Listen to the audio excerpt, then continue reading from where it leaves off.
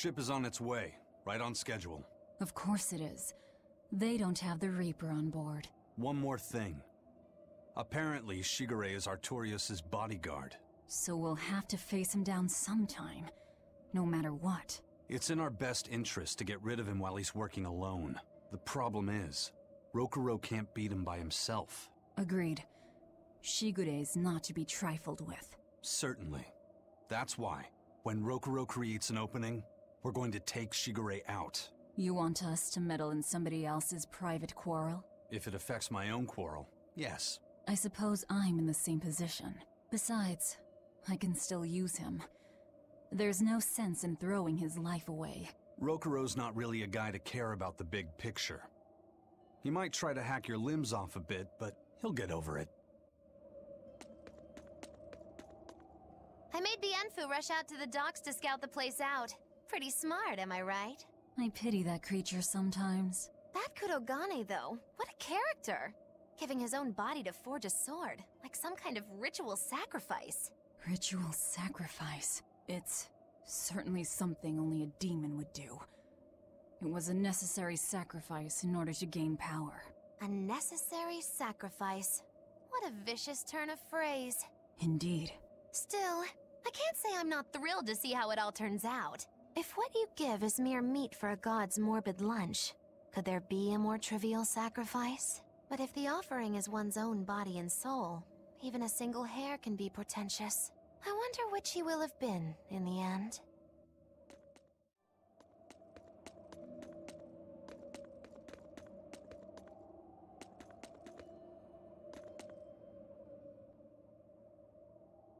Rokurou wants to slay his brother, even if it kills him. And Kurogane had his own head lopped off just to forge powerful swords. How do those two find it in themselves to go so far? It's just how they are. They're demons. Not exactly normal. Yeah, it's scary. But I also kinda admire it. But me, I don't have anything I'm that desperate to accomplish. Not yet, you mean. In time, you'll find something. You really think so? Almost certainly. But don't feel you have to go and risk your life over it. You're not a demon, and you should stay that way. You deserve a normal life. Okay. But never mind. Just the foolish ramblings of a demon girl.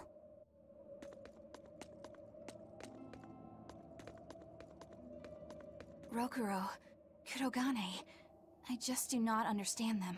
You saw them. Demons. We're crazy. Sure, but they go through life with such crystal clear sense of purpose. Even demons have things they're not willing to let go. Or do you think us mere animals, running around killing people left and right? I know, I know. I understand demons still have a certain consciousness, but I look at those two and they seem passionate, like normal people. Well, I've yet to meet a human so passionate he'd chop his own head off. Do you have a purpose like they do? I do, in fact. Ever since Artorias used my brother as a sacrifice. Typical demon nonsense. The Abbey exists to protect the people. Yes, sometimes cold, painful decisions need to be made to protect the many. But they'd never stoop to human sacrifice. Besides, as Shepherd, Artorias will cleanse the world of... If that's what you think, ask the precious Shepherd yourself. Ask him just what he did three years ago. He wouldn't. He'd never... Bad, bad news! A group of praetors have left the docks and are headed this way! Uh-oh. They said they were coming to purge Eleanor the traitor! Purge? Velvet, what do we do? We take them head on. And you're fighting with us, Eleanor. An order, I presume. It is. Protect Laphicet. And defeat the Exorcists. All right. I understand. Just remember, if we lose Eleanor, Laphicet will turn into a demon. I haven't forgotten. But we need to pool all the resources we have. She needs us for her own ends. And we'll use that to our advantage in this fight. Just don't push your luck too far, Velvet. And so recently was she a noble, upstanding young exorcist. How quickly one falls when entering Velvet's dark orbit. Ask me if I care.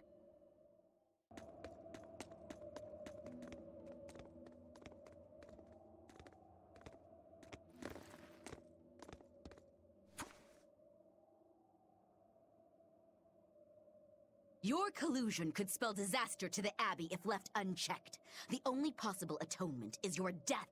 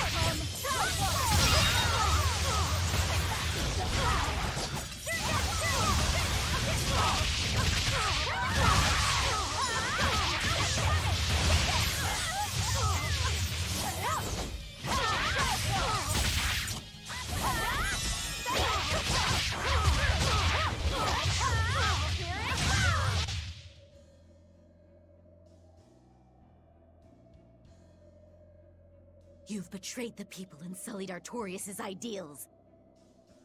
No, that's not... Hmm. Velvet, she's testing me. I know I have to fight. My mission calls for it. But any more of this will kill them. Time for you to die and be purged! Eleanor!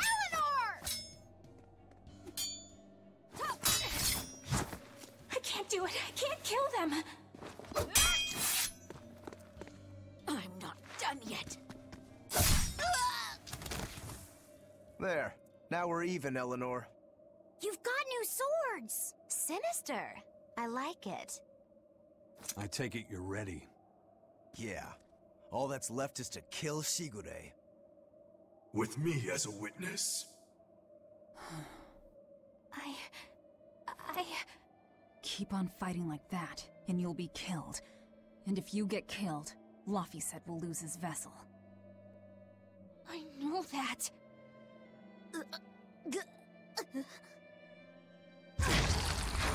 Velvet, wait. You're... You're not going to kill them? I'm just not that hungry right now. I've got new orders for you. Fight the Exorcists, but make sure they don't die. Understood.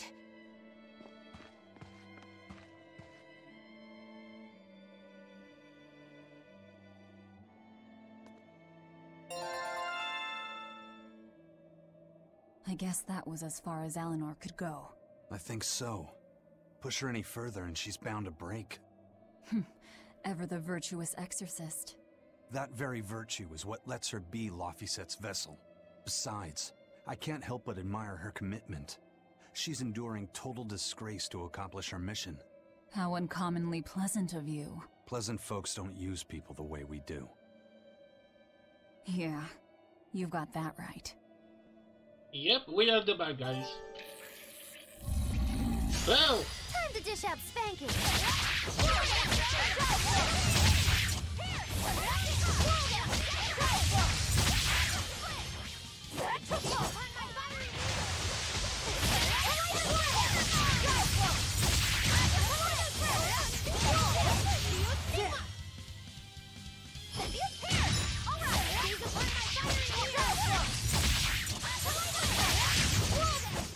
We won, right? what was that? Hey, Bienfu? I was wondering if I could talk to you about something that's on my mind. I figured it was just about the time that you and I had the talk, actually. I've seen it all, heard it all, and even tasted it all in my time as a Malak. Ask me anything you want. Thanks. I was hoping you could let me borrow those books you were reading earlier. If that's okay. You mean how to talk a human female into becoming your vessel? And how to get the cuties? Hey! Keep it down! Keep it down! But you and Madame Eleanor have already formed a pact! Why do you still need either of those books? Well, it's like when we're alone together, things get so awkward. It's hard to talk with her, you know? that happens a lot with Malakhim and vessels who are still new to the whole thing. I've been there. In that case, I've got an even better book for you. Whoa! You read a lot of books. I'm just an avid learner, is all. Now let's see. Oh, here we go. Hot Spring Topics Bearing Your Body and Your Soul. Being upfront and honest is always the best policy. I. I don't think we'll be bathing in any hot springs together. Do you have anything else?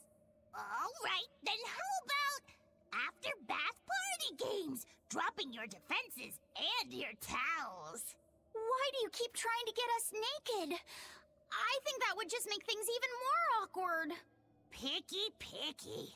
Tell you what, you can just look at my collection and pick whatever sounds good. Love hacking, living long and loving hard, diary of a diary thief, hands speak louder than words. All classics. I remember reading them when Miss Magilou and I were struggling to get along. Oh, to be young again. You ever think maybe things would have been easier if you never read these books? Reading the mood. Knowing what to say and how to say it. That one's a winner. A must read for sure. Are you two reading something together?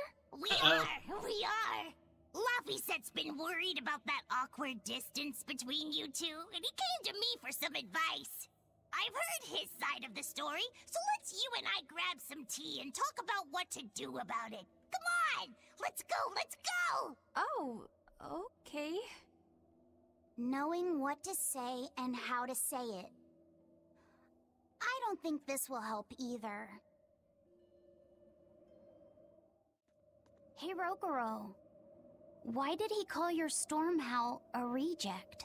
Well, you see, when blacksmiths make swords, they don't just make one at a time. They make a whole bunch. The best one of them all is the one that gets presented to the sword's commissioner, while the rest are tossed aside. Huh. I didn't realize the standards were so high. The head of my clan gets the real Storm Howl, and his siblings get the remainders. So one is real, and the others are imitations? I guess so. Shigure has the real one, and... Yeah, guess that makes mine an imitation. I'm sorry, I didn't mean to imply... Don't apologize. You got me to finally realize something.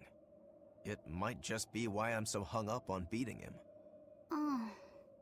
And to Velvet, which Laphicet is real, and which is the imitation? Oh, what are you saying? She means my name.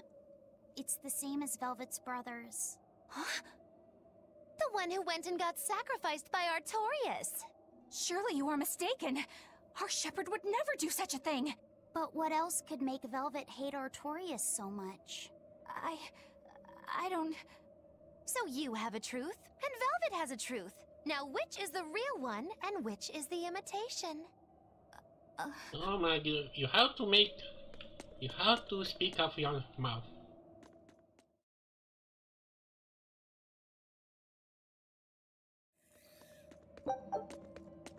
You and Shigure both use the Rangetsu style. But to me it looked like you both fight completely differently. Why is that? Our school encompasses two distinct forms. To the outside world, we're known for fighting with a single great sword. But we also study dual short swords should need arise. So, Shigure uses the great sword, and you use the short. In most schools, wouldn't the secondary technique be used primarily in support of the first? That's true for us as well. We learn the dual short swords to provide sparring partners for those studying the great sword. Then why would you handicap yourself against Lord Shigure? He's no mere swordsman. As I'm painfully aware, Shigure is a true master. We trained together since we were small children. I was his sparring partner for ten years. his skill with the great sword is godlike. So, in order to beat him, I took up the short blades. To our school, it might be secondary, but it's what I know best. You're badly disadvantaged in reach.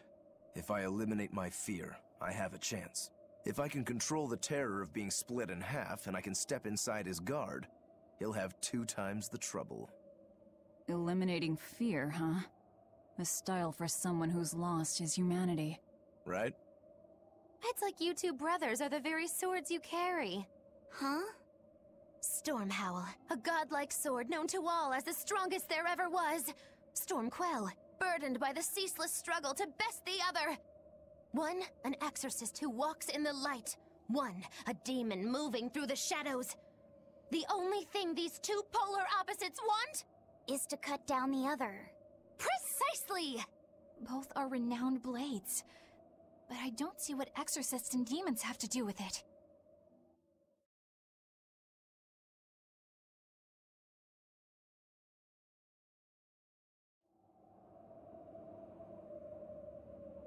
Hello everyone and welcome to Bazaar. It's been a while since I caught some footage, but last time I tried to check, actually I think I actually raised the recording of this part.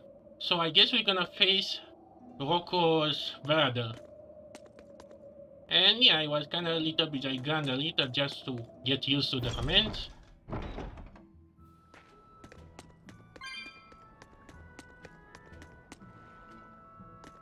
So yeah, I guess we're gonna continue with the story now. Finally after so much time.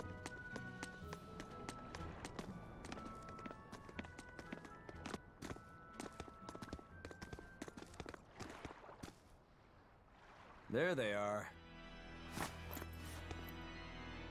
Which must mean they took out every one of the exorcists who went after them. Hey, I told them not to bother. Now how did that sword of yours turn out?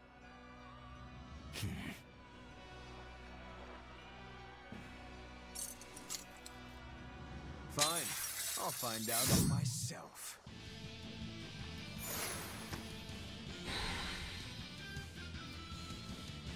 Rokurou, we can handle the exorcists. Go and find your victory. Thanks.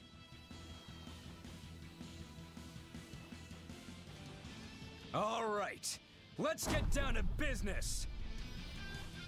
Not bad. You better not die too quickly on me. I want this to be fun.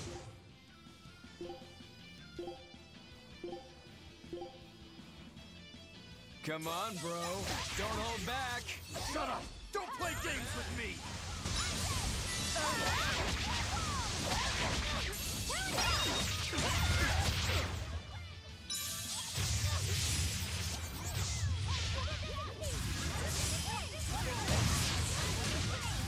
Ooh, those are some fine-looking swords you got there.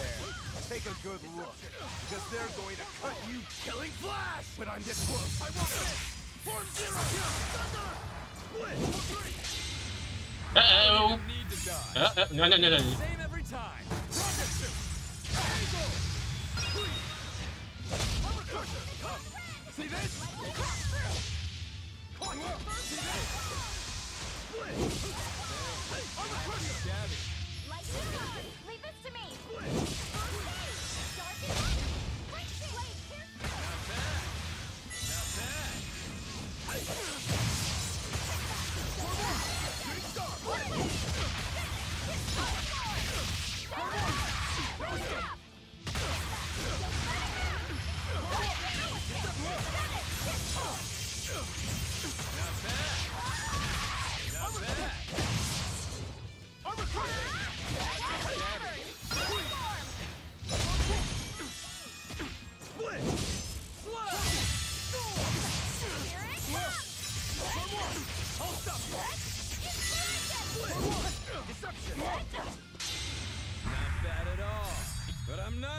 Another one?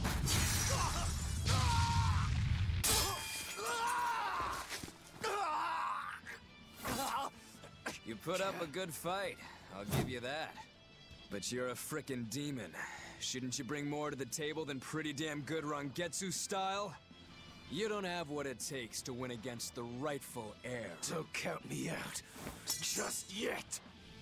I've got something to show you!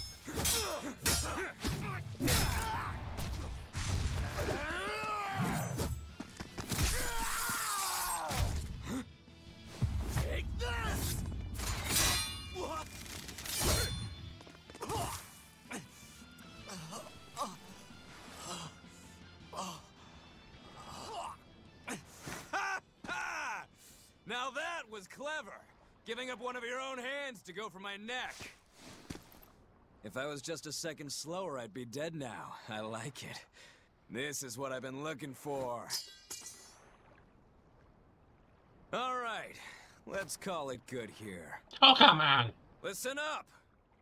If y'all want any hope of beating me, come find me once you're more skilled and better armed. How about now? Okay, I'm gonna move the head. Cut you down. No matter how many times I lose, no matter how many years it takes. Hmm. When did you saw? There we go. That's the face I'm looking for. So vicious. It's perfect. What is wrong with him? Shouldn't you be worrying more about your own skin? The entire Abbey knows by now that you're a traitor.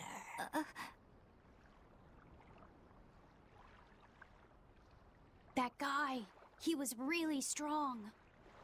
Yeah, he was. They all are. But we will beat him if we must. No matter what it takes.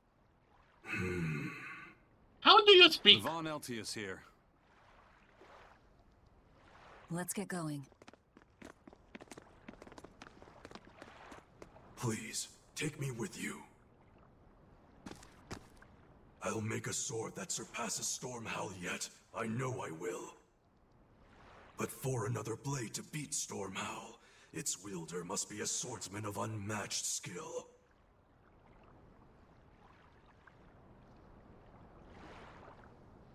Hey, Eizen. Got any room on this pile of wood scrap for a suit of armor? If not, make someone wear it. Works for me. You heard him, Kurogane. Many thanks. Okay, we're off to find Grimoire and decipher the book. You know where we're going, right, kiddo? Yeah. We're headed for the Assault Archipelago in Southgand. Didn't I give you glasses? Maybe I changed that. Level up! Man, I really don't know how to manage alts.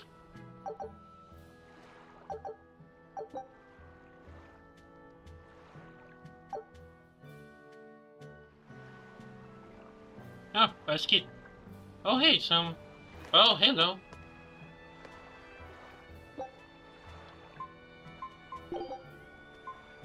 Oh, new stuff. Oh wait, this is... Oh, this is not uh, not I got yet. Let's see what we have.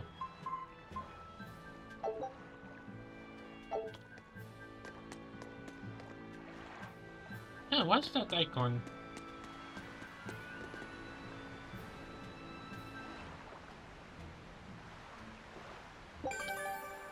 Oh, I guess I defeat some kind of extra. Uh, okay, let me... No, not this.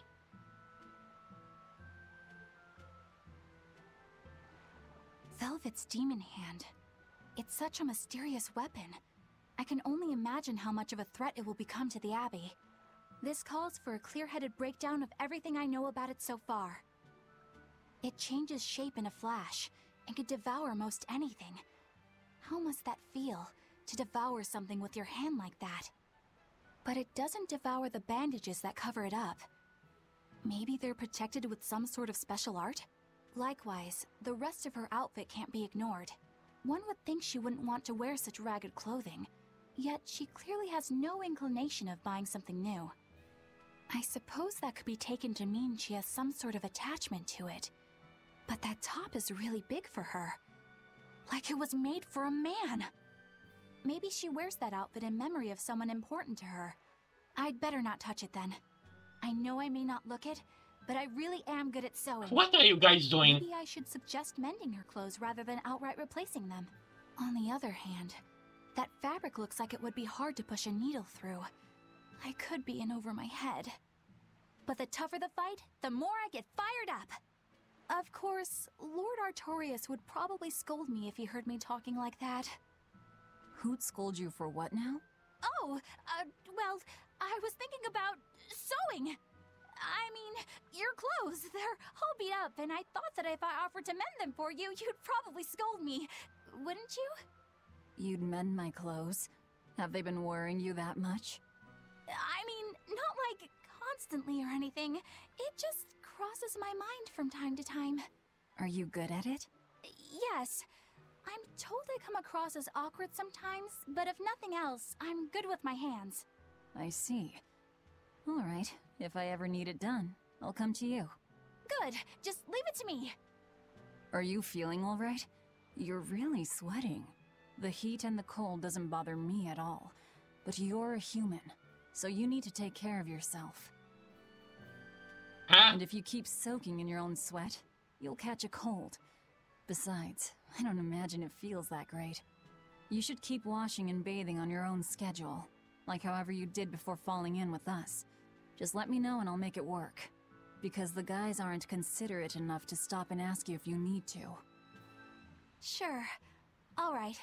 Thanks. That was a surprisingly normal thing for her to say. I probably shouldn't bother with her clothes for now. We girls have to be considerate of each other.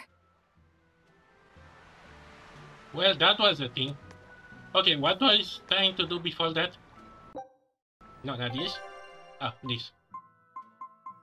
Uh, I, I don't know what to do with these guys.